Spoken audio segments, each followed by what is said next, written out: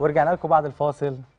آه، بنرحب بالاستاذ محمد المطري. أهلا بسيادتك. وبنرحب بأستاذ شريف. أهلا وسهلا. بسيادتك شريف أهلا بدر. أهلا بيك. وطبعا معانا أسد المحاماة المستشار أحمد حمزة. حبيبي آه هنتكلم بقى عن حاجتين مهمين قوي. الميراث وجرائم الإنترنت. نبدأ بمين الأول؟ زي ما حضرتك تشوف. طيب نبدأ بحضرتك. تمام. تمام. نبدأ آه تحب نتكلم عن الميراث الأول ولا جرائم الإنترنت؟ والله بالنسبة إحنا خلينا في جرائم الإنترنت بالنسبة تمام. لجرائم الإنترنت آه، نظرا للتطور الشديد في المعلوماتي و- وفي الإنترنت وإن الشعب المصري كله أصبح دلوقتي متابع لجميع مواقع ال social media والتواصل الاجتماعي واليوتيوب فأصبحت الجرائم الناشئة عن تلك الأدوات أو تلك المواقع أنا دلوقتي لما بقوم أشير معلومة أو أكتب معلومة هي بسرعة الضوء انتشرت مم. فكان يجب على الدولة ملاحقة تلك التق... ذلك التقدم التكنولوجي طبعا الدولة قامت جاهدة وفي قوانين اتشرعت مم. وفي قوانين أصدرت ومجلس النواب تفضل ب... ب- بالموافقة عليه والقوانين فعلا بقت حيز التنفيذ إحنا دلوقتي عندنا هنا مشكلة وهي آليات تنفيذ تلك القوانين آه وزارة الداخلية أنشأت إدارة خاصة مم. بجرائم الإنترنت والمعلومات اللي بقت للأسف عليها ضغط شديد جدا. وعليها كمية أعباء أنت من جمهورية مصر العربية كلها بتجه لإدارة واحدة اتكلمنا إحنا اتكلمت أنا في الموضوع ده. في مرة. وكنا بنناشد إن إحنا ن... ن- نخلي في كل محافظة أو مم. في كل دايرة في كل اسم آه، مكان آه المستشار أحمد حمزة اتكلم على الموضوع ده فعلا قبل كده في حلقة سابقة وناشد فعلا وزارة الداخلية بإنشاء مقر في جالنا المحافظات شكاوى على صفحه البرنامج اصل متولي كتير. قوي إن هم بينتقلوا من ال... من الأقاليم بيجوا مخصوص عشان يروحوا مباحث الإنترنت والمعلومات في, في العباسية. في العباسية. فده بالنسبة لهم مشقة كبيرة جدا. إحنا هو- بقى عندنا ظاهرة غريبة جدا. مم. وهي الظاهرة دي بدأت في أونة مثلا 2011 بعد الثورة. تمام. وهي إن أي حد دلوقتي بيعمل شير. معاه موبايل مم. بيطلع الموبايل يصور أي حد يصور أي واقعة. سواء كان هو موقفه قانوني أو غير قانوني. ويروح مشير ويروح باعت. بقى في انتهاكات دائمة وقوية جدا وغير طبيعية على حقوق الحرية الشخصية. القانون المصري والمشرع المصري أقر بالحرية الشخصية.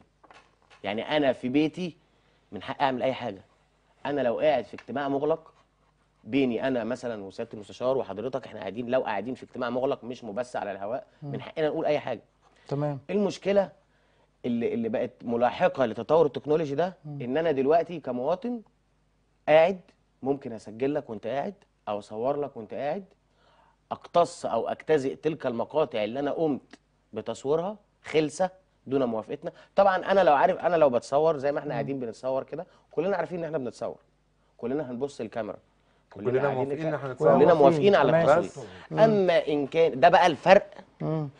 اللي للأسف بقى يعني انتشر بصورة غير طبيعية وبسرعة غير طبيعية مم.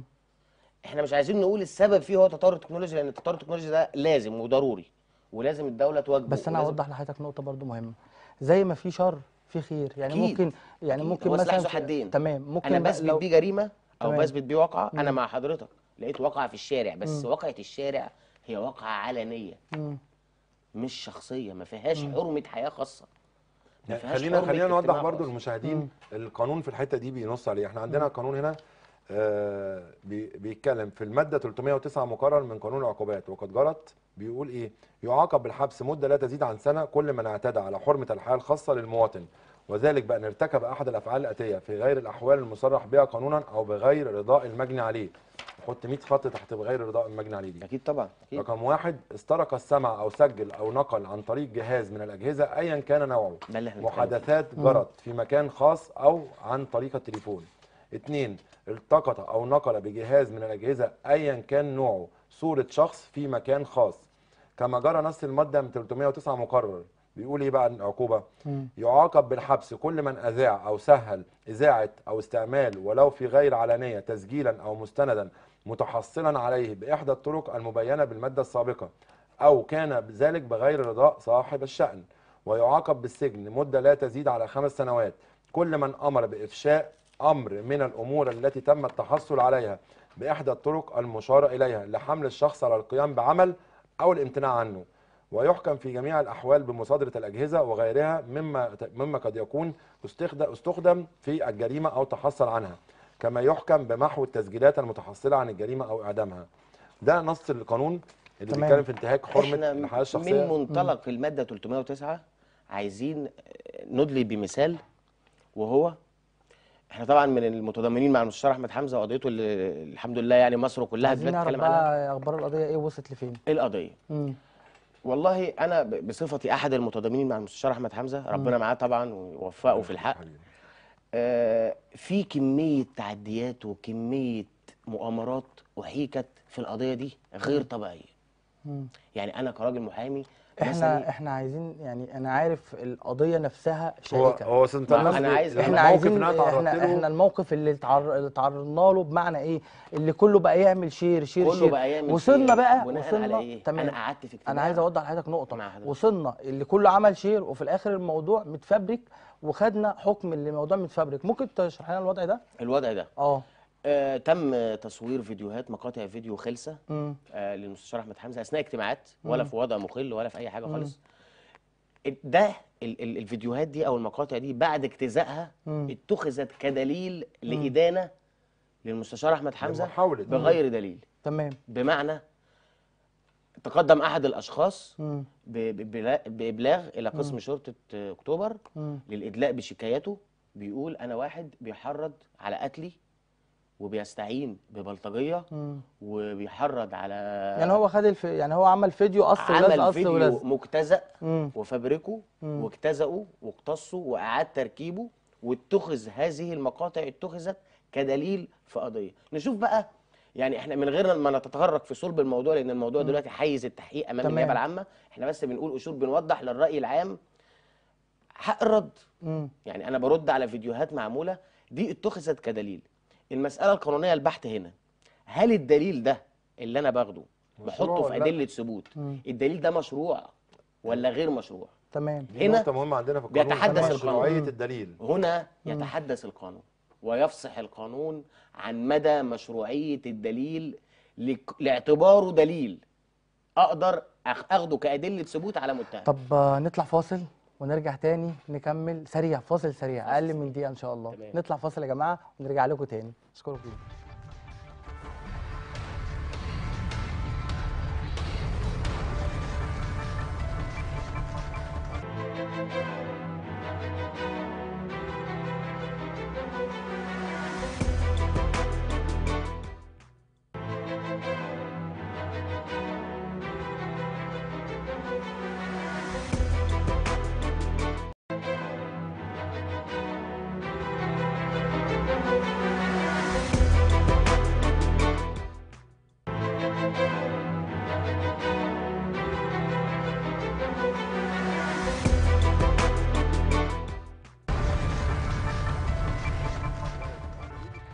ورجعنا لكم تاني أعزائنا المشاهدين آه عايز أقول لكم بجد آه ده أول مرة أقول على الهوا. المستشار أحمد حمزة كل القواضي الرأي العام خدها مجانا بدون أي مقابل. وأنا والله العظيم بجد آه، قضية زين الشهيد زين بدون مقابل. قواضي كتير قوي ومكتبه مفتوح 24 ساعة لأي حد. وأنا بجد يعني سعيد جدا إما ألاقي يعني محامي قانوني في الاستشارات القانونية أي حد بيخبط على مكتبه بيخش معاه أو معهوش فري دي حاجة جميلة طالما نرجع صاحب لمو- حق. طالما صاحب حق طالما صاحب حق. طالما صاحب حق. الحمد لله ولله الحمد دي. بس هي هي هي شهادة اعتز بيها جدا إن دي رسالة أنا عايز الناس تفهم إن دي رسالة أستأذنكم تحطوا رقم سعاده المستشار بعد إذنكم يا جماعة وتحطوا الرقم بحيث برضو الناس مش مشكلة موجوده طيب. على طيب. حطوا الرقم طيب نكمل موضوعنا نكمل موضوعنا طيب أنا دلوقتي تم التعدي على حريتي. تم تصويري خلسه تم اجتزاء تلك المقاطع التي صورت تم إرفاقها في قضية كدليل ثبوت عليا أنا نفسي بلغت عن تلك الواقعة بمجرد علمي يعني أنا اللي أنا عايز أفهمه إزاي أقدر آخد دليل أصلا مطعون فيه ومتبلغ فيه يعني إحنا قمنا ببلاغات وشكايات عديدة مم. أمام جميع الجهات بمجرد نشر تلك المقاطع مم. ومن قبلها طب أنا كمواطن تمام. ولقيت نفسي ناس عامله لي share كتير كتير share share share وهم مثلا حوالي مثلا 30 40 واحد. ال 30 40 واحد لو عملوا share هيوصلوا ل 300 300 هيوصلوا عملوا. share بقوا 3000 بقى 4000 مصر بقى نص مليون. آه. مصر شافتها. ال step by step قانوني بقى أعمل إيه ساعتها؟ القانون حدد إجراءات للموضوع ده. أنت كل ما عليك كمواطن هو إنك تتوجه للإدارة العامة لمباحث الإنترنت والمعلومات بتتقدم بشكوى بيفحصوا تل- تلك الشكوى بيفحصوا الصفحات اللي تم اذاعه عليها بيشوف مين اللي ذاع الحمد لله إحنا يعني بقدر كبير جدا آه، الإدارة بتاعت وزارة الداخلية إدارة المعلومات والإنترنت مباحث المعلومات والإنترنت ربنا يقويها، ده شغال 24 بتواكب ساعة. فعلا يعني على قد ما يقدروا ولكن بيبقى في أحيانا في مشاكل وهي إن لو في السيرفر اللي نشر أصلا من خارج مصر مم. فده اللي ما قدرناش نوصل له وده اللي إحنا بالفعل عملنا فيه محضر مم. تم آه، قيده وتوجهنا بشكايتنا إلى مباحث المعلومات والإنترنت مم. رفقة المستشار أحمد حمزة للتبليغ عن تلك الفيديوهات التي تم اجتزائها وتم تصويرها طب الفيديوهات المتفبركة لما اتعرضت على النيابة قرار النيابة إيه ووصلنا لفين قرار النيابة حتى الآن مم. في جنحة تم تحريكها بالفعل مم. وتم تحديد لها جلسة بعد تحقيقها تحقيق قضائي رسمي مم. تحقيق قضائي كامل من من من, تحريات بس الواضح هي متفبركة واضح جدا يا دي فندم دي, دي الجنحه اللي هو يقصدها أستاذ شريف دي اللي إحنا عاملينها دي الجنحه اللي. إحنا طعنا على. تلك الفيديوهات دي جنحه من أحد الشكايات والقضايا اللي إحنا والبلاغات اللي إحنا أنا عايز. برضه أوضح لكم حاجة برضه يا جماعة مهمة جدا آه، برنامجنا برنامج محايد بس هو الواحد بيقول كلمة الحق ممكن حضراتكم طيب. تقولوا أنت متحيز بس أنا كلمة لا هي الحق أنا عارف بص أنا عايز أوضح برضو للساده. المشاهدين هو أستاذ متولى مش مش يعني مش متحيز هو برضو تعرض لشوية ضغوط في القضية دي وشوية يعني حبوا برضو إن هم يخشوا معاه في حتة مش بتاعته إن هم. حاولوا مع إعلاميين كتير وصحفيين كتير إن هم يمنعوا لي نشر أخباري ويمنعوا لي في حاجات كتير فهو يعني هو شاهد كمان برضو في معانا في القضية في القصة دي وشاف الناس دي كانت بتعمل إيه فأنا أنا أنا بسألك بحكم الأخوة أنا عايز تحكي أنت للناس انت إيه اللي شفته من الناس دي وايه اللي انت عرفته منهم؟ أنا عايز اوضح لحضرتك نقطة برضو. آه يعني برنامجنا محايد بس أنا شايف اللي, اللي مش اي حد يعمل share يا جماعة. مش اي حد يشوف حاجة يعمل لها share. ما انت لازم تتحقق منها. زي على سبيل المثال أنا شفت حاجة عملت لها share رجعت تاني قلت لا دي متفبركة. القانون مجرم ده كمان يا فندم. المعلومات المغلوطة. القانون جرم مجرد ان انت تشيرها مجرد نشرها. ما تكونش مش مش شرط ان يكون حضرتك السورس يعني الفيس. الأول كان نعمة دلوقتي بقى نقمة. نقمة للي بيسيء استخدامه تمام ما هو في ما إحنا قلنا زي اللي هقول أنا عايز أقول لك ممكن هو خير عارف هو. بيحصل خير في إيه ممكن مثلا طفل تايه ممكن نوصل له بسهولة بنلاقي- بنلاقي على فكرة. حد من آه، المسمى. بتاعه اسمه مواقع تواصل اجتماعي تمام. عشان الناس تطمن على بعض وتواصل في مع بعض بعض و... بعض الناس بيستخدموا مم. تلك الأدوات أو تلك ال- الوسائل اللي هي المفروض موجودة عشان نستعملها في الخير ونستعملها كتواصل اجتماعي مم. بيستخدموا تلك الأدوات غلط إساءة الاستخدام نفسها دي جريمة. تمام. النشر نفسه ده جريمة. إحنا خلينا تمام. نرجع لموضوعنا عشان. ما نبقاش رحنا بعيد ماشي okay. لأن الموضوع مستفيض جدا وممكن نتكلم فيه. تمام. أنا بتكلم ردا على فيديوهات منشورة مجتزأه زي ما قلنا. تمام. إيه اللي أنا قمت بيه؟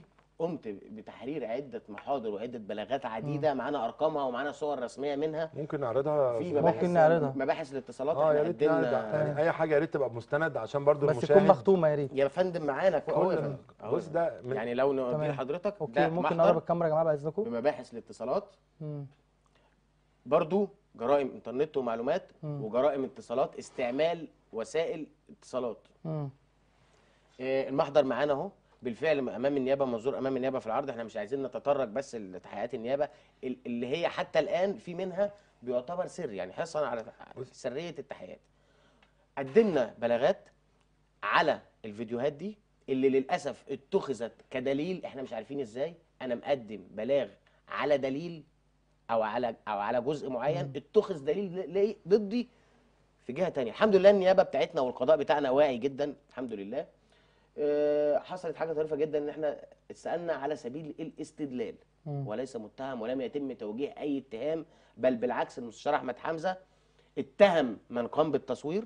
وقدم البلاغات اللي هو عملها كلها في جميع ال- الجهات الحكومية والرسمية اللي هو كما في ضوء ما نص عليه القانون. تمام. قدمنا تلك الفيديوهات وتلك المقاطع. حوت برضو المستندات المقدمة أمام النيابة على إقرارات رسمية طيب.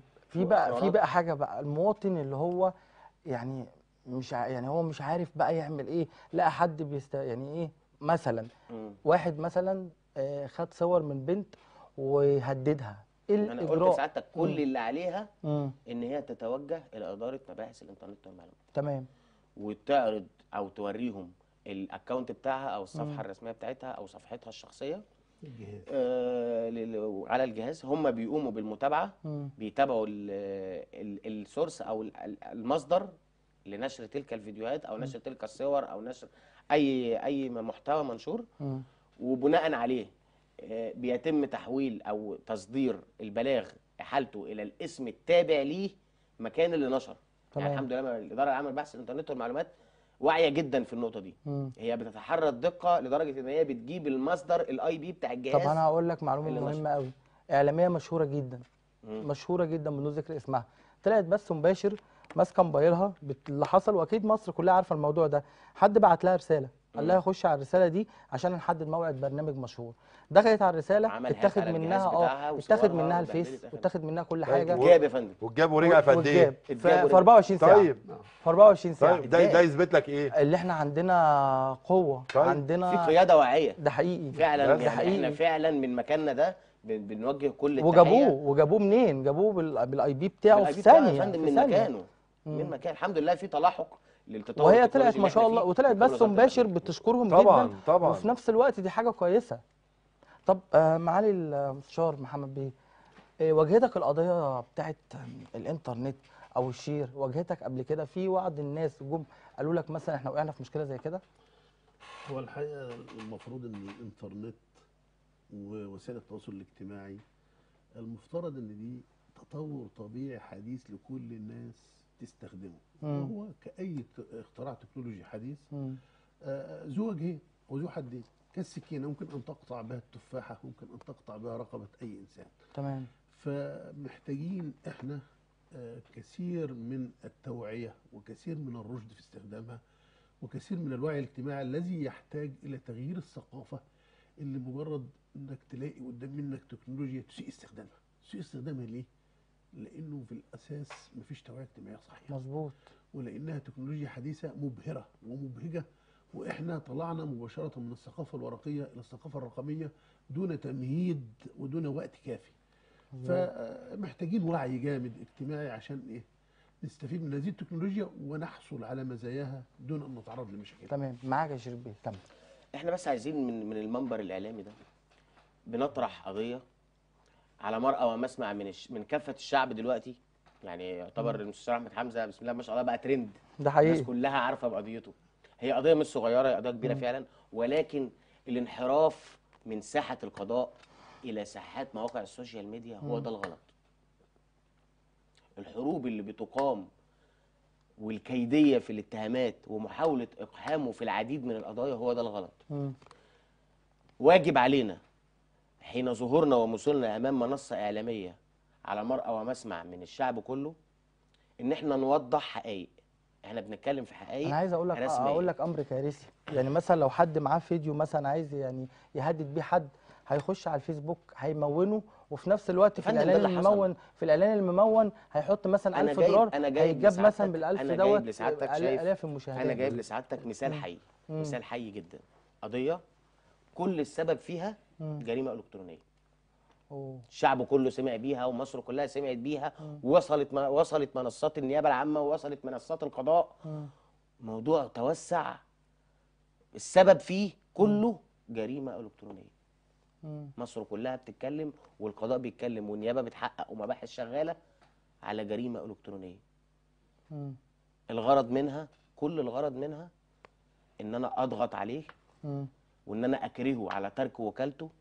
وإن أنا أرغمه على ترك رسالة وهي محملة على أكتافه. إلى الوفاة ربنا طبعا يديله الصحة وطولة العمر بس. إلى وفاته إحنا كمحامين من أجل ارتدائنا السواد. الوشاح الأسود وهو روب المحاماة يا جماعة اللي إحنا عايزين نوصله دي رسالة ما ينفعش لا يجوز التخلي عنها أي حد في حياته عنده أنت رسالة بيعيش عشانها. نقنن الوضع ده إزاي سعاده المستشار نكوننه إزاي؟ يعني عايزين نعمل تقنين للوضع بمعنى مش أي حد ياخد فيديوهات ويعمل تموين على الفيس أو يعمل يدفع فلوس عشان تتشاف أكتر. إيه الحل؟ طب إحنا عارفين إن إحنا ما عندناش ما فيش مقر للفيسبوك في هو جمهورية مصر. العربية. فطبعا إحنا عشان كده ده يعني اليوتيوب اللي فيه مم. سيطرة شوية عنه. مظبوط. لكن الفيسبوك ملوش مقر اداري إداري هنا في مصر. مم. فده هو ده اللي مصعب المأمورية علينا. تمام. إن برضه هم مش هيخضعوا لأي رغبات لينا. إحنا زي ما أنا قلت إحنا نحاول نحجب نمنع يعني إحنا عندنا التكنولوجيا والآليات اللي مكافحة. تقدر مم. آه تمنع تمنع وتحجب مواقع. وأنا كان ليا كنت رافع دعاوى معينة مم. حجب مواقع معينة. ويعني ده اللي نقدر نقدر نغلظ العقوبات نقدر يعني هو ده اللي نقدر نعمله. نقدر مم. نطالب بتغليظ العقوبات نقدر نواكب تنوع الجرائم الالكترونيه عقوبتها كام سنة؟ هي حاليا بتصل من 3 ل 5 من ثلاث سنين من لخمس 3 سنين؟ سنين لخمس سنين. تمام. بس لا أنا أنا نفسي تكبر أكتر من كده. أنا نفسي تبقى مغلظة أكتر من كده عشان يعني الناس ترتضى. يعني أنا آخر من من ضمن طلباتي برضو إن أنا كنت بطالب حتى الشير. يعني مم. حتى ال share بدون تأكد من المصدر مم. ده يعاقب عليه. يعني مم. ده يعاقب عليه قانونا. إن مش أي حاجة كده share ها وخلاص. أنا عايز أقول لك الفيسبوك ممكن لو إحنا 100 مليون مصري إحنا ممكن يكون في مثلا حوالي كام؟ آه، 40 مليون account فيس أو ممكن أو أكتر. أكتر لا أكتر، أكتر. يا طب. مين مين هيقدر يسيطر على 40 مليون؟ ما هي دي لا، المشكلة لا لا لا. في في في في توعية. في. توعية لابد من التوعية. الصين تمام. توعية للمواطن نفسه. لأن في بعض المواطنين يجهلوا القانون إحنا خلينا صراحة. مش كلنا نعلم بالقانون. فوجب على العالم بالقانون توعية ال... الذي لا يعلم بالقانون. أنا لازم في ناس من غير ما بتقصد بتشترك في جرائم. يعني أنا ات- اتسجل لي فيديو واتنشر. في ناس قصده ده. وفي. لجان إلكترونية بتقصد إن هي تنشر وتمول زي ما حضرتك بتقول وتنشر الموضوع. ولكن في ناس عادية مواطنين عاديين بيشارك في الجريمة دي من غير قصده. إن أنا شفت فيديو آه ده الأستاذ فلان فلاني ده مش عارف إيه يروح مشيره. طب ما أنت بتشارك في في طب. أقول لك بقى مفاجآت على الفيسبوك. بتلاقي حد بيبيع صفحات يقول لك صفحة فيها 100000 فيها كام؟ آه 100000 ب 10000 جنيه. صفحة فيها نص مليون ب 50000 جنيه. طب ال- ال- النص مليون دول انت هتتحكم فيهم؟ أي معلومة هتنزلها أي حاجة أنت هتوريهم أي حاجة. يا ريت مش. هتقف عند النص مليون ده. دي الصفحة نص مليون. الصفحة اللي بتتباع. النص مليون لو كل واحد ليه واحد صاحبه. بقوا كام مليون؟ ده بقى ملايين. مع أنا من ضمن الأصدقاء في صفحتك هشوف. كل واحد عنده أصدقاء في عند صفحته هيشوف. شوف بقى بقوا كام النص وبقى بيزنس. بقت تجارة. بقت تجارة. بقت, تجارة. إعلان وفي نفس الوقت. الصفحات الكبيرة اللي بتوصل للخمس 6 مليون يقول لك هتعمل عايز تعمل عندي اعلان ب 50 ب 100 ب 300 اللي أنا عايز أتكلم فيه يا متولي. إحنا طبعا أنت عارف مدى يعني الكلمة اللي بتطلع دلوقتي وإحنا مم. على الهوا طلقه طبعا ما فيهاش كلام طبعا وكل كلمة مننا بتطلع بنتحاسب عليها طبعا هل يجوز إن إحنا مم. نستغل منصات إعلامية مم. أو أو الصحف اللي الناس بتعرف منها أخبارها آه، إن هم يستخدموها في إن هم يضغطوا على حد أو إن هم يشهروا بيه بدون أي سبب أو بدون أي يعني بدون أي حقائق. يعني هل هل يعقل إن أنت تصحى من النوم تلاقي أخبار كلها عنك أنت ما تعرفش حاجة عنها ولا تتخيلها ولا عمرك سمعت عنها ولا ليها أساس في الصحة؟ هل يعقل إن إن ده يتم توجيهه بالمنظر ده مقابل ناس ضعاف النفوس بيدفع لها. فلوس أو الكلام ده؟ ده في مثال أكبر كمان يا. سياده المستشار أنت المشكلة إن بعض الجرائد الموجودة في مصر حاليا بقى ليها صفحات على على الإنترنت حقيقي. الجريدة ليها صفحة إلكترونية. مم. إحنا عايزين ن- يعني لك أن تتخيل إن جريدة ليها اسم ممكن تقع في مشاركة في جريمة وبلاغ. وده حصل بالفعل. وده أنا حصل. فوجئت لقيت جريدة الوفد. جريدة الوفد من. أعظم الجرايد اللي أنا وعلى. الصفحات الإلكترونية نشره طب لقيت أنت جريدة الوفد نازلة لقيتهم بيكلموني. الميثاق الس- ال- لا، ده الاعلام. والصحافة. لقيتهم بيكلموني في جريدة الوفد. بيقولوا لي إيه؟ بيقولوا لي في صفحة كاملة تشهير نازلة باسمك. الناس اللي هم بيجوا يعملوا معايا لقاءات وياخدوا منها تصريحات. فبقول لهم صفحة باسم أنا. إزاي يا جماعة؟ طب صفحة هكتب على أنا؟ واحد مش لازم أنا أعلنه. لاحظتها برضه يا جماعة في نقطة. أي خبر بينزل على الفيس. اتفضل معليك فطبعا أنا مم. رحت أنا رحت تفضلت كلمت معالي المستشار بهاء أبو شقة تمام؟ وقلت له معالي المستشار طبعا ده أب لينا وأستاذنا كلنا. مم. في كذا كذا كذا بيحصل في الجريدة. هل يعقل قال لي إزاي الكلام ده؟ طب اديني فرصة لو ما كانتش اتطبعت أنا هوقفها لك حالا. وبالفعل هي للأسف كانت اتطبعت من تاني يوم ما كانش فيه خبر. بينزل مخالف ومن ساعتها اتخذ قرار إن أي حاجة تبقى من خلاله أي أي أخبار بتنزل تخص عشان حساسية القضايا اللي موجودة. المتحدث الرسمي وإن هو يبقى هو المتحدث الرسمي عن جريدة الوفد بدون أي حد تاني مساعد ليه. وده كان بسبب القضية اللي إحنا بنتكلم عليها إن هو قالك في قضايا حساسة في المجتمع دلوقتي ما ينفعش إن حد ينحاز بحد أو يستغل جريدة أو يستغل آه، منصة إعلامية إن هو يهاجم حد أو يشهر بيه. تمام. يطلع اعلامي برضو المفروض ان الناس بتسمع له والمفروض. ان هو بيبقى على قدر المسؤولية وعلى قدر من الأمانة وان هو برضو إيه يطلع ويشهر ويقول كلام ملوش اي أساس من الصحة ويتهم اتهامات هو لا يعلم عقابها أو أو يعلم ويجهل أو مثلا مغريات كانت أكبر من إن هو عارفين آه، فيه هقول عليك حاجة. ويجب على الجهات تمام، عايز الرقابية يجب على. الجهات الرقابية مراعاة آه، ذلك. أنا عايز الامانه الأمانة الإعلامية أيوه. في برنامج هنا أو أي برنامج أو حد عنده ضمير مهني لو واحد في المية ما ينفعش أطلع أقول مثلا الفلاني الفلاني وأقعد أمسكه كده آه ألبخه بالكلام وهو ما غلطش في حاجة. يعني أقعد أقول ده فيه وفيه وفيه وفيه لا يا. باشا وانت ينفع؟ يعني وحتى لو طلع- غلط هو نكتب بيقوم بدور فلان. الفلاني المحامي النصاب. يعني النصاب طب منين النصاب؟ المتهم أنا بالنصب. زع يعني أنا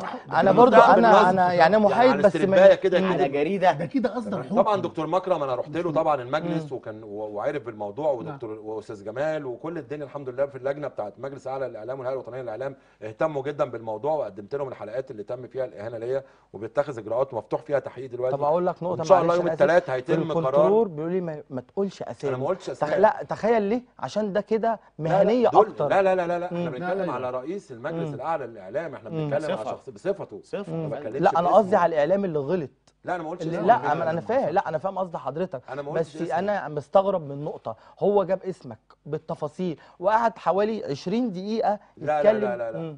مم. 18 و8 ثلاث حلقات تلات حلقات. 18 و8 و14 مم. اجمعهم ساعة تقريبا يعني ساعة هو على حضرتك. ساعة كده إيه مم. أو نص ولا أقل من ساعة فاهم. عمال إيه ماسك أحمد حمزة طب أنت تعرف أحمد حمزة منين مم. أنت عندك دليل رسمي في كلامك أنا عشان أقول محامي. نصاب أو مم. متهم بالنصب لازم يكون معايا حكم نهائي مم. تمام وأطلعه اقدمه زي ما أستاذ شريف قال لك أنا معايا محضر إنترنت راح مطلعه. موريه للمشاهدين مظبوط لكن أنا أقول كلام مرسل طب انت كده مأجور يعني انت كده متآمر وهبل مم. انت كده لا تعرف أي حاجة عن المهنية ولا انت أصلا مقيد بنقابه المعلمين ولا انت مقيد بنقابه أقر هو أقر بعدم وهو قايل. ومعترف إن هو مش طب مقيد طلعت إزاي طب أنا والله زعلان طب أنا مقدم. شكوى؟ طب أنا زعلان. أنا زعلان أنا مقدم شكوى رسمية ضده في نقابة الاعلاميين اللي هي المفروض اللجنه التاسيسيه اللي بيرقصها الأستاذ سين من الناس ما انت. الناس عارفة ما أنتوا مش عايزين أسامي مع ان كل تمام. الناس لا عارفة ده صفه صفه بس أنا أنا بتكلم اسمه بصفاتها لأنه ما. بتكلمش. بشخصها أنا تمام. بخاطب طب ما توقفش ليه؟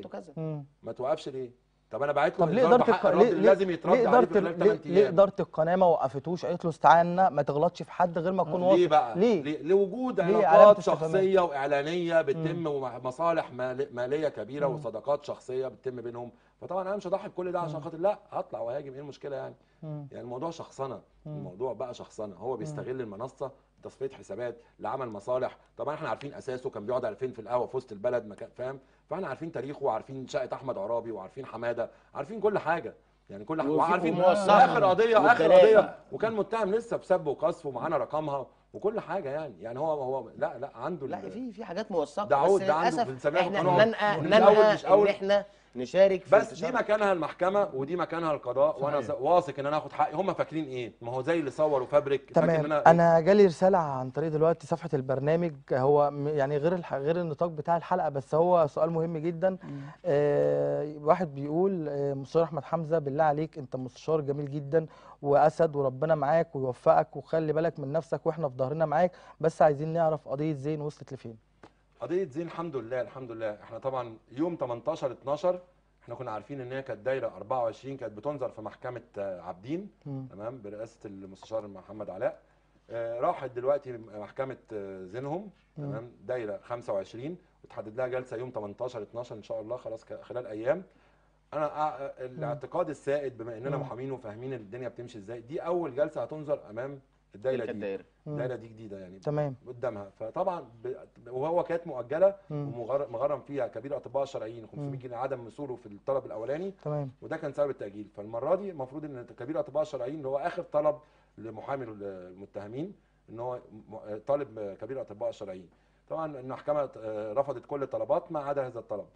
فبالطبع يعني بالطبع أول مرة طبعا أنا كقاضي إن أنا قضية هتبقى معروضة عليا. بالطبيعي إن أنا هأجل عشان أشوف أسمع وأقرأ والكلام ده كله تمام فأنا أعتقد إن شاء الله إن الجلسة دي. هتكون آه، تنويرية للمحكمة. وبإذن الله اللي بعدها التأجيلة اللي بعدها بإذن الله هتتحجز لحكم طب ممكن. تطمن بقى يا ساده المشاهدين آه، طبعا الإشاعات اللي بتحصل يا جماعة بموضوع قضية زين في أهله في إخواته ممكن تسألوهم وهم متابعين معايا يوميا تقريبا أو كل كام يوم وبنطمن عليهم ومتابعينهم ومش سايبينهم ومفيش حاجة. من أول يوم اتفتح فيه تحقيق من أول يوم وهو في المشرحة وأنا واقف معاهم من ساعة. ما أستاذ وائل ابراشي كان بيصور الله معانا يرحمه الله وكان باعت كاميرته.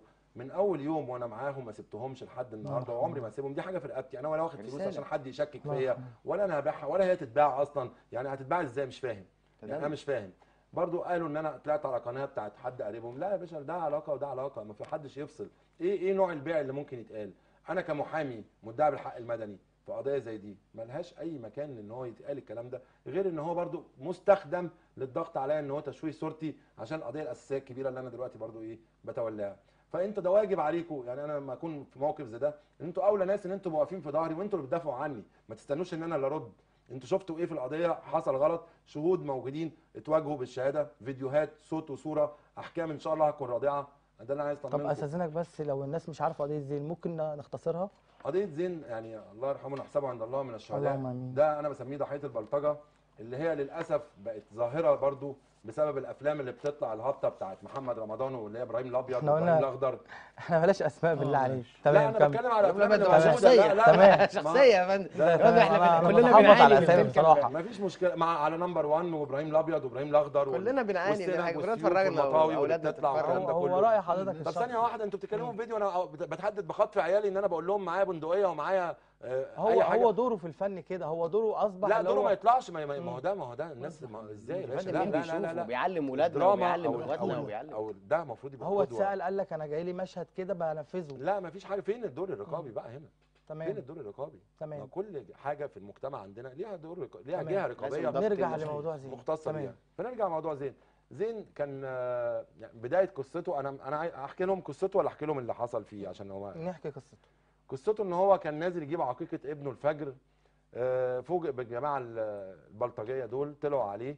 آه، هات لنا الولد اللي هم كانوا متخانقين معاه قبل كده وقاطعين له إيديه وهو راح شهد معاه في المحكمة في الاسم و- واتحكم عليهم بالحبس أربع سنوات بسبب آه، قطع يد ال- اللي هو اللي اسمه أحمد آه، ابن أخو مراته وبعد كده لما هات لنا أحمد طبعا هو قال لهم لا ما أجيب لكم أحمد منين أنا مالي ومال أحمد فما مش هتجيب أحمد طب تعالى انت بقى وراحوا ماسكينه وعملوا فيه طبعا أنا مش قادر أوصف لكم كم الانتهاكات اللي. تمت ضده من من من تقطيع ومن تشنيع بالجثة ومن آه، من انتهاك كل يعني أنا أنا بجد الفيديوهات وحشيه وحشية أنا ما شفتهاش. إحنا لو في غابة فعلا مش هيحصل كده بني آدم. لو طار بس- حتى هيبقى بس طلقه مش هيبقى نقطة. الفيس بقى كان عامل رئيسي في الفيديوهات اللي كانت موجودة. إحنا برضو لو دخلنا في الموضوع طيب. الفيديوهات ما هو أنا ده برضو اتكلمت فيه. أنا أنا. شفت أكتر آه. من 30 زاوية تصوير فيديو للجريمة دي.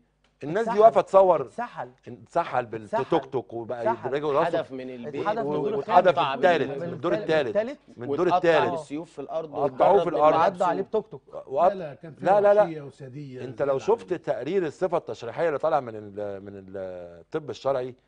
أنا بصراحة أنا على. على مر عمري في المهنة وفي القتل وفي كل اللي إحنا بنشوفه ما شفتش أنا تقريبا المنظر ده إيه الجحود ده؟ ده ما فيش رحمة في قلبهم ولا أي حاجة طب انت ممكن. متخيل يا ست مستشار وهو الولد بيموت تحت في واحد في الدور اللي فوق قال له لو طلقة جت عيني هنزل أقتلك؟ طب ما نزلتش دافعت على زين ليه؟ ده قريبهم أصلا. اللي بيتكلم ده قريبهم اللي كان واقف فوق في البلكونة بيقول. لك لو حاجة جت ناحيتي ولا حد طلقة. جت ناحيتي أنا هضربكم بالنار. ده قريبهم.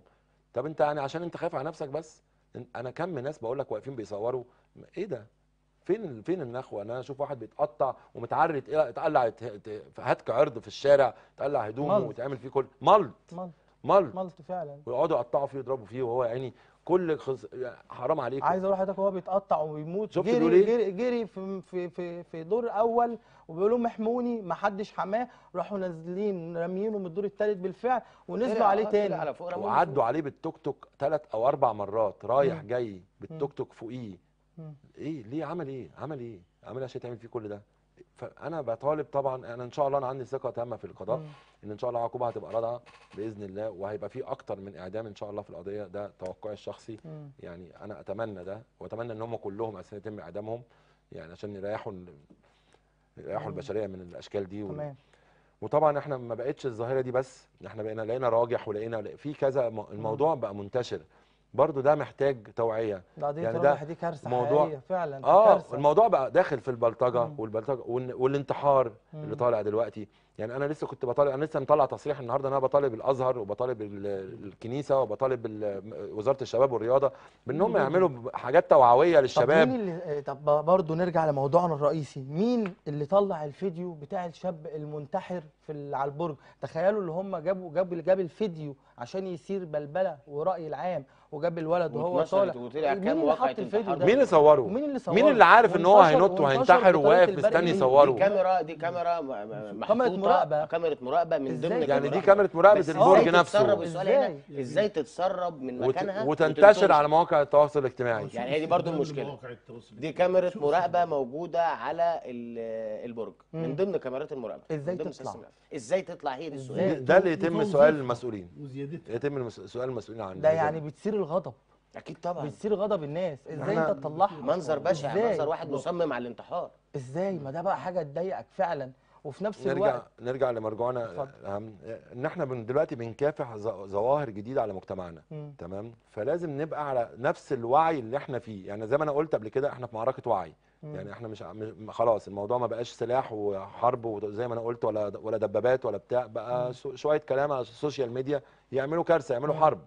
يعني أنا مش أنا مش هنسى أنا واحد من الناس أنا اليوم بتاع ال- الكلب اللي بره ده فاهم؟ وتسمحوا لي إن أنا في التعبير ده اللي هو بتاع مش عايز أقول اسمه مش عايز أنطق اسمه تمام. اللي بيهاجمنا أو بيسيء لرمز دولتنا. جرينا كلنا ونزلنا عند المنصة وتصورنا وبثيت من هناك هوا. للعالم كله. لا هو اتبهدلنا. يعني أثبتنا في العالم كله إن ده كذاب وإن ده آه ال- الزفت القطران اللي اسمه محمد علي ده ده انت- أنا- انت- الكلب لا، ما تقولش الكلب- اسمه، الكلب وفي ما هو مش على كلب ده خاين. وعميل ولازم لازم كده يتحط في مشنقة ويتشنق فورا أنا عمري عمري ما. عمري ما رضيت أقول اسمه وأنا كل الناس فاهمة أنت بتوجه. إحنا يا ريت من المنبر ال- من المنبر الإعلامي ده إن إحنا نطالب بإسقاط الجنسية إحنا طالبنا أنا طالبت. أنا عمل. بطلب طالبت. إحنا بنأكد مش هو بس مش هو بس. والبلدي ايواء النور الناس ناس دي ما ينفعش. الناس دي لا- الحيوان لا يجوز المعترف. ليها يعني معالي. معالي النقيب سامع عاشور. شطبهم من النقابة ده ك- كنقابة هو ده الإجراء اللي تم ضدهم. طب بقية الإجراءات بقى إسقاط الجنسية سحب الجنسية ما لا ما حرامي أنا أتمنى الحيوان معتز مطر سقوط جنسيته فورا الحيوان لا، أنا التاني- عايزهم يجيبوا لنا الناس. الحيوان التاني اللي اسمه جو شوت إسقاط جنسيته لا الناس دي أنا لازم عايزين تتحاسب. يجيبهم لنا يجيبهم لنا. بص طب يتحاسبوا. فين بقى الإعلام اللي بيرد على الكلام ده؟ فين الإعلام اللي بيبين الإنجازات اللي الرئيس 24 ساعة يكون في عونه بيعملها وسياسه الدولة اللي ماشية بيها الإنجازات. أنت اتكلمنا من بعد ساعة ما بدأنا الحلقة عن أي إنجاز الدولة عملته؟ بنتكلم في الجرايد مم. تمام؟ فين الناس اللي بترد عليهم؟ هم بيقعدوا ينت... يعني إحنا بعد ما هنخلص دلوقتي هينتقوا مننا شوية حاجة مظبوط. ويقعدوا يتريقوا علينا. وزي ما أنا قلت يجيب لك معلومة من أي قصة زي بتاعة البرج مثلا أي حوار ويروح حاطط لك حاجة حقيقية ويلف لك بقى إن البلد كلها كده وبالمنظر ده وحالات انتحار وحالات أنا عايز أقول لحضرتك حاجة. في لقاء آه، السيد الرئيس عبد الفتاح السيسي آخر يعني كان في لقاء بخصوص الإنترنت كانوا جايبين وحدات سكنية تمام؟ أكن الوحدات مشرخة وجايبين كاميرا وبيصور إلحق الوحدات مشرخة. قال لك ده Photoshop وسيادة الرئيس قال لك شوفوا بصوا بيقلبوا إزاي وبرده زي العربية المشهورة اللي مكتوب عليها؟ باشا مصر أيوة. شال ال sticker وحطها قال لك شوف اللي الناس بتمشي إزاي بقى في فوضى رهيبة وإحنا طب بنصدق وحقيقتها إيه حقيقتها ده Photoshop طيب Photoshop هو ده اللي إحنا. بنتكلم فيه مم. يعني هو ده اللي إحنا بنتكلم ان اي حاجة بقت ممكن تتعمل بس مم. إزاي أنا اصدقها أو إزاي أنا اتتبع المصدر بتاعها تحري الدقه محمد بس بيه تحري انت قلت. لي هنتكلم عن موضوع التوريث آه آه قبل الحلقة والله الحقيقة من ضمن المشاكل الكبيرة اللي بيعاني منها المجتمع المصري كله مم. مسألة أكل ميراث البنات أو عدم توريث البنات مم. ودي مشكلة محتاجة وعي عام ليه لأنها آه، مشكلة بتعاني منها مصر سواء كان في الصعيد. أو كان في الريف المصري أو حتى في الأحياء الشعبية اللي موجودة في داخل المدن الكبرى والمدن الصغرى أيضا مم. ال- الحجج حجج سيئة ليه؟ لأنه هو عرف فاسد تقاليد بالية وأولها وآخرها ظلم ظلم ليه؟ لأن الشرع آه، الميراث بالذات تفرد المولى سبحانه وتعالى بتحديده لم يترك حتى لأحاديث النبي صلى الله عليه وسلم. وإنما كانت كلها فرض من الله سبحانه وتعالى. ولما ربنا يفرض شيء ويقول وتلك حدود الله ومن يتعدى حدود الله فقد ظلم نفسه فيبقى هذا من عند الله سبحانه وتعالى هنا لما يبقى الشرع الحنيف يؤكد أن للرجل مثل حظ الأنثيين أنت بقى بتاخد كولد أو كرجل بيحرم ال- الأخت بحجج كتير. بعض الحجج يقول لك والله أنا عايز آه، الأرض بتاعت العيلة ما تروحش العيله تاني. طب ما هي دي واحدة من أفراد العيلة طب لو أنت فعلا عايز كده طب اشتري لها أرض مكان الأرض أو عقار مكان العقار وسيب أرض العيلة زي ما هي. أنا هسأل بس ساعه أيوة. المستشار سؤال بقى مهم جدا. أنا اتفضل. دلوقتي مثلا على سبيل المثال آه ليا أخت تمام؟ والأخت دي ليها مثلا قطعة أرض تمام؟ معايا في نفس الميراث. أقدر أنا أستغل الأرض دي وترفع قواضي مرة واثنين وثلاثة وأربعة وأبقى إيدي عليها؟ ولا إيه إيه بقى الوضع القانوني اللي الأخت تقدر تاخد أرضها؟ أو نتقاسم عندها عند في أكتر من إجراء مم. لو ما فيش ما فيش زي ما قلنا ما فيش اسمه بالتراضي مم. بنعمل فرز وتجنيب تمام تاخد وقت طويل ما هو مشكلة ما أنا قلت في حاجة مم. في حاجة اسمها خبير في الحاجات دي مم. الخبير هو ال- المحكمة بتحكم على ضوء تقريره مم. فلازم ننتظر بتتعرض على خبير تمام بتروح بتحدد لها عشان هو اللي بيشوف الأرض قد إيه ومساحتها قد إيه مم. ويقيمها عشان نقدر نعرف حقها إيه تمام بس فهي دي المشكلة اللي بتواجهنا مسألة الوقت يعني بتتراوح مثلا من سنة لسنة ونص مم. من سنة لسنة ونص آه فرز وتجنيب كتير قوي عشان ندب خبير. ما في هو. ما هو في إجراءات يعني ال- الخبراء أنت لو رحت كم الخبراء كم. القضايا اللي بتروح للخبراء كم مهول جدا مم. يعني برضو من ضمن الطلبات اللي إحنا كنا بنطالبها إن هم. يزودوا عدد الخبراء. عشان مم. يستوعب الكم الهائل من القضايا اللي بتعرض عليهم مم. عشان عشان الإنجاز يعني العدالة الناجزة دي ده اللي إحنا بنسعى بيه الناجزة وتكون عادلة. يعني. ما أنا ممكن تبقى ناجزة وظالمة. لا أنا عايز الناجزة المعقولة تمام العادلة. تمام. مش عايز الناجزة وخلاص. تمام. تمام؟ هي ده ده, ده, ده أحمد اللي عايزه. مم. وأنا ومن وجهة نظري إن ده قانونا هو ده المطلوب إن أنا أتحرى الدقة. يعني مثلا زي موضوع قضية زين أنت بتتكلم عليها. مم. ما فيش حاجة اسمها في يوم وليلة. الناس اللي كلها متعاطفة مع زين وعايزة تطالب بحق زين ترضى إن واحد من اللي موجودين دول يكون بريء يتعدم؟ لا طبعا. بس. يبقى. لازم المحكمة تتحرى هل دول تم فعلا في تحريات في فيديوهات ولا تكون. السرعه على حساب إحنا العدل عايزين نعقب برضو على نعم. كلام. المستشار أحمد حمزة اتفضل بالنسبة للغير العالمين بالقانون أو اللي, اللي بيجهلوا القانون من المواطنين العاديين بيسأل إزاي قضية متصورة والدنيا كلها شايفاها وتقعد ثلاث سنين مم. يا فندم إحنا إحنا مقيدين بقانون اولا ما يبقاش ثلاث سنين آه، في ناس بتقول هي ما كملتش ما سنتين كملتش، ما كملتش. سنتين آه في قانون وفي حقوق القانون ده ليه إجراءات اسمها إجراءات جنائية. من حق المتهم ابداء دفاعه. ويجب على المحكمة تحقيق تلك الدفوع كاملة. تمام. والرد عليها وسردها في الحكم. ده تمام. القانون. فأنا لما يجي لي محامي المتهم بيدفع بدفوع الدفوع دي من شأنها أن تجبر المحكمة على تأجيل نظر الدعوة للتحقيق في تلك الدفوع. يعني تعقيبا لكلام المستشار أحمد حمزة إحنا تم إبداء دفع أمام المحكمة مم. بالنسبة للمتهمين في في قتل زين بأن هم غير مسؤولين عن أفعالهم وأن هم إن مختلين هم عقلياً. مجانين ومختلين عقليا تمام. وراح فعلا اتكشف عليهم فكان فكان يجب على تتوقف. تأجيل نظر الدعوة وإحالة المتهمين إلى مصلحة الطب الشرعي أو إلى العم- مستشفى العباسية مم. للكشف على قوائم العقلية لاستبيان عما إذا كانوا مسؤولين عن أفعالهم في تاريخ الواقعة من عدمه. تمام.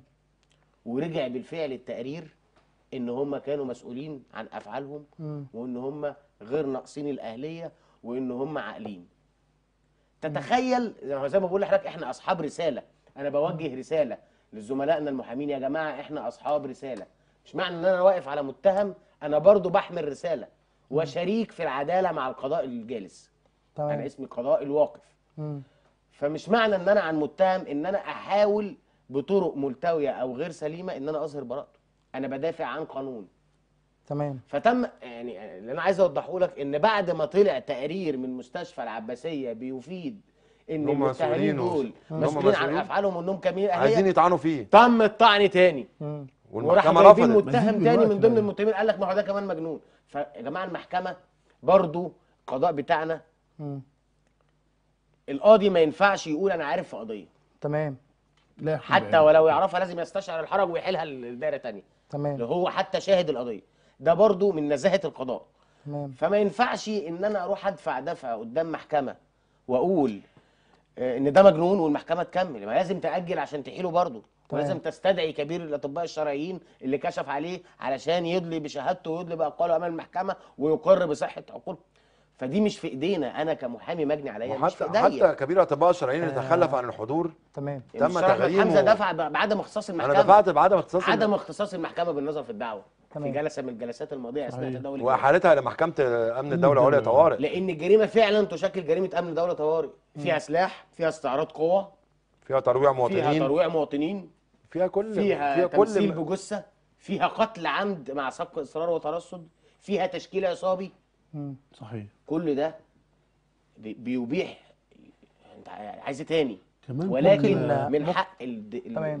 ال... أنا بس بعقب على على طول المدة. ايا كانت مم. يا جماعة دي إجراءات دي دفوع بتبدى من المتهمين ي... ينبغي على المحكمة تحقيقها والرد عليها فلازم المحكمة تتأكد من كل دفع وتاخد وقت. إحنا بالنسبة لنا قضية قدام الرأي العام الرأي العام كله شايف من المفترض إن أنا كمحامي آه، يمكن المستشار أحمد حمزة بسم الله ما شاء الله يعني اتعرف عنه إن هو محامي المدعي بالحق المدني أو محامي المجني عليهم. هو دايما بيدور على حق حقيقي. يعني الحمد لله أنا عايز أقول لك الكومنتات أنا عايز أقراها الناس كاتبة معلش اتفضل. آه، مستشار أحمد حمزة راجل المهمات الصعبة بجد قضية زين ربنا يقويك وإن شاء الله ياخدوا إعدام. ده محمد الله. وحيد.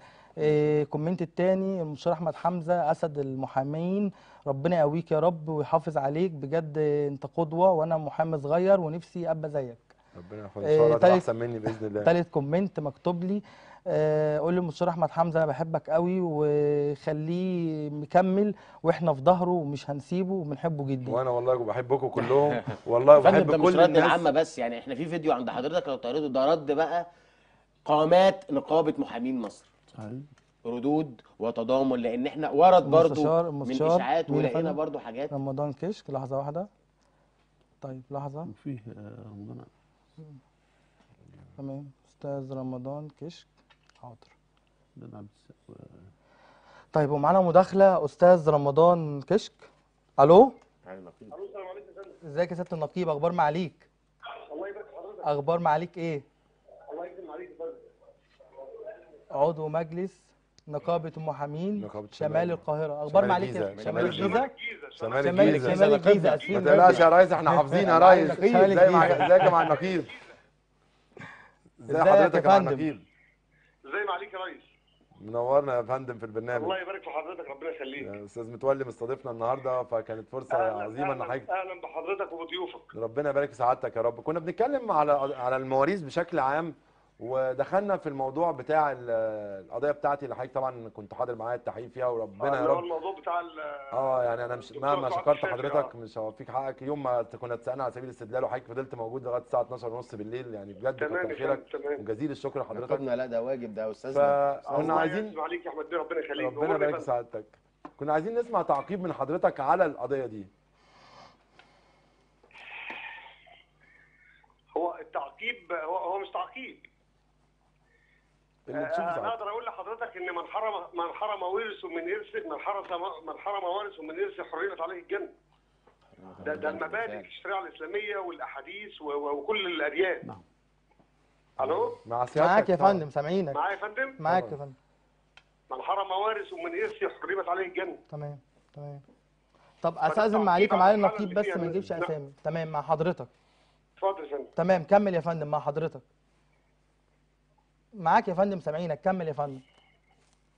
لا، سعادتك بتقول لي تعقيب على موضوع المواريث فأنا بقول لحضرتك إن الرسول عليه الصلاة والسلام وكل الأديان وكل ال- آه، أنا أنا أنا جبت لك من الآخر يعني. بقول لحضرتك من حرس من حرم وارثه من إرث حرمت عليه الجنة. يعني أنا عايز أعرف يعني بما إن حضرتك طبعا يعني نقيبي وافتخر طبعا بده. ربنا يخليك ده شرف ده شرف لينا ربنا. يبارك في سعادتك يا رب. عايز أعرف يعني أنا أنا اللي بتعرض له بقى في قضية زي دي من جنح سب وقذف طبعا الحمد لله واحدة دي أول واحدة خدنا فيها براءة. أنا ما بحبش أتكلم ما بحبش أتعب النقابة في الكلام الصغير ده.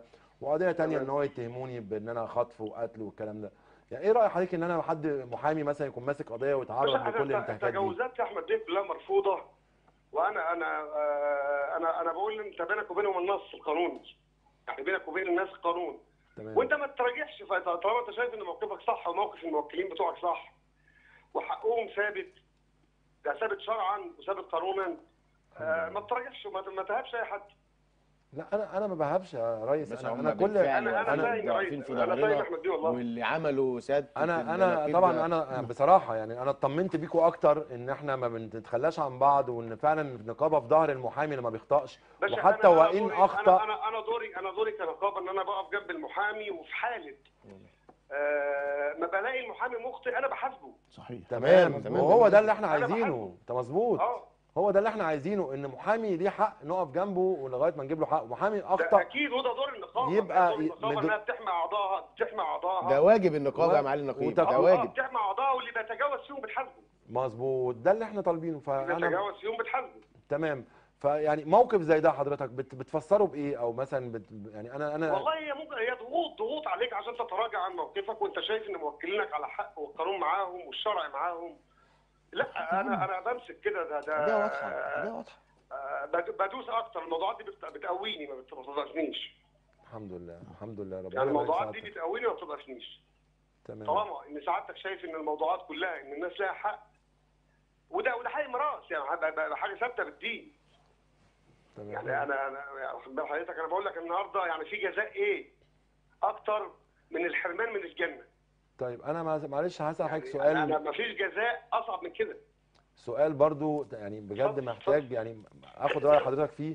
آه، معلش بعد إذن حضرتك اتفضل يا. فندم. اتفضل يعني يا أنا عايز أتكلم على موضوع الجامعة. هل يجوز المستشار الإعلامي اللي جه مسك الجامعة ده دلوقتي إن هو يمسكها؟ هل يجوز الاسم ده يكون موجود وسط بناتنا وإخواتنا في الجامعة؟ أنا أنا أنا ما أعرفش ال- ال- مين مستشار الاعلام آه، محمد إحنا- فودة. لا يا فندم بعد إذنك يعني لا ده ده عشان ده مستشار إعلامي جامعة مصر صفه أنا- محمد فودة بصفته. المستشار الإعلامي لجامعة مصر. طبقا للقرار. رقم أنا بكلم- 40 الصادر من رئيس مجلس أمناء آه، جامعه يا مصر. تمام. التكنولوجيا. تمام. برقم إحنا القرار. إحنا مش عايزين نقول أسامي بعد إذنك. بس معانا نقيب تمام. يعلق على ده. تمام. إحنا بس أنت تخيل أنت آه، بنتك في جامعة تمام. بيمثلها واحد كان متهم في قضايا فساد. ورشوة. إحنا إحنا اتفقنا. إحنا اتفقنا ما نجيبش أسامي معالي آه، معالي النقيب بيسال مين بصفته مين تمام فلازم يعرف عشان. الصفه عشان. يعرف مين الشخص ده تمام فهل. يجوز تمام إن إحنا نجيب حد زي ده مع النقيب لا إحنا بس عشان برنامجنا برنامج بعيداً عن. الاسم. تمام يجوز. إن إحنا نجيب حد م... ما كان. متهم في قضايا فساد ورشوه في نستأذنكم- قضايا نستأذنكم بالشرف. فاصل نستأذنكم نطلع فاصل بشكرك جدا سيادة النقيب بشكرك جدا يا فندم نطلع فاصل ونقعد لكم على طول